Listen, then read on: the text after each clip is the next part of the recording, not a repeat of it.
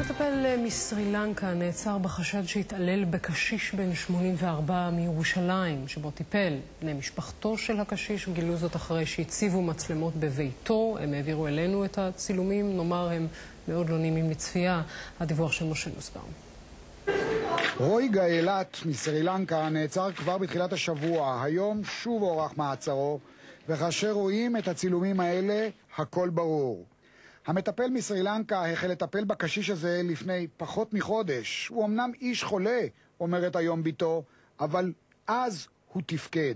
אבא הלך לבד, אה, כמובן שהתלווינו אליו, אבל הוא הלך על רגליו, והוא ביקש, אה, כשהוא רצה לעשות את הצרכים שלו, אה, הוא ניגש יחד איתנו לשירותים, ואפילו בלילות הוא היה קם לבד והיה עושה את צרכיו.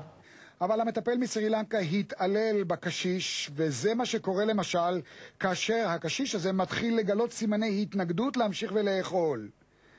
אחר כך המטפל מנער את פניו של הקשיש שוב ושוב, הוא לא מרפה, למרות שהקשיש מבקש להפסיק לאכול.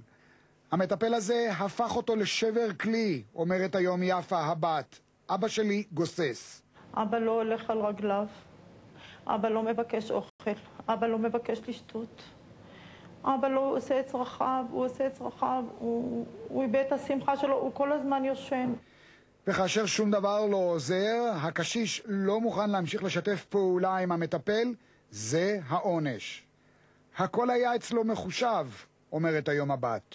קודם כל שיהיה לנוח בזה שיש לו חולה מרותק למיטה, וככה הוא לא צריך לרדוף אחרי אבא שלי.